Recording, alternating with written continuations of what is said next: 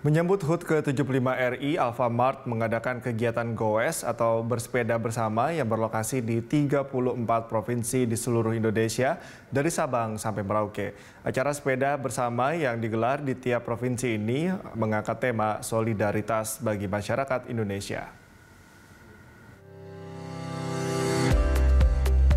Sejumlah kegiatan dalam rangka memeriahkan hari ulang tahun ke-75 Republik Indonesia dilakukan oleh berbagai kalangan, termasuk Alfamart.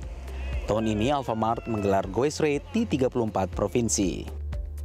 Kegiatan Goes bareng Alfamart untuk wilayah Banten mengambil start di Alfa Tower, Kota Tangerang, menuju Monumen Palagan Lengkong dan berakhir di Geraha Raya Tangerang. Jarak yang ditempuh peserta Goes ini sepanjang 17 km. Jarak ini sesuai hari lahir Indonesia yaitu 17 Agustus. Selama dalam perjalanan Goes Raid, para peserta melintasi beberapa landmark historis di masing-masing kota, sembari membagikan sembako kepada masyarakat yang membutuhkan.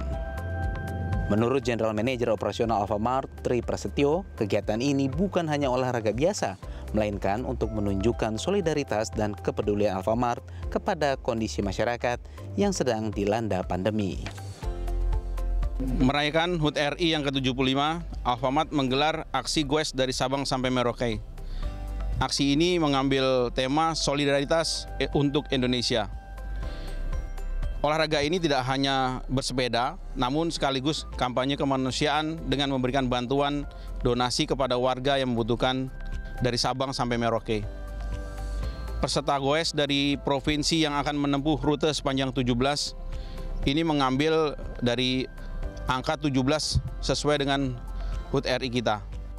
GOES ini merupakan kampanye menjaga solidaritas bagi Indonesia, serta menegaskan kontribusi Alfamart melayani Indonesia yang selama ini berjalan dengan konsisten.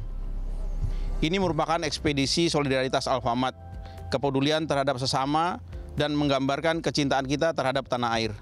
Yang kita bingkai dalam bersepeda dari Sabang sampai Merauke kondisi pandemi seperti sekarang ini membutuhkan aksi yang dibutuhkan di dalam aksi solidaritas kita. Kita harus jaga dan terus sebarkan. Kegiatan Go Straight Alfamart ini juga bekerja sama dengan True Money Indonesia. Direktur True Money Indonesia, Doni Ervanto menjelaskan, acara sosial seperti Go Straight Sabang Merauke harus terus didukung untuk menunjukkan bentuk solidaritas antar kedua perusahaan dalam membantu masyarakat. Kami dari True Money Indonesia, uh, salah satu uh, partner utama di Alfamart untuk uh, pengiriman uang. Tentunya kita sangat mendukung inisiasi yang dilakukan oleh Alfamart, terutama dalam merayakan 17 Agustus tahun ini yang ke-75. Juga dalam rangka sosial tadi untuk dari Sabang sampai Merauke kita mensupport semua. Jadi tim kita bersama Alfamart terus sama-sama untuk uh, mendukung semua kegiatan yang sosial dan juga uh, terus mempererat, uh, mempererat kerjasama antara Trumani Indonesia dengan Alfamart. Diharapkan acara Alfamart Goes Rate Sabang Merauke ini dapat memberi inspirasi tumbuhnya kepedulian bagi sesama dari setiap daerah di Indonesia.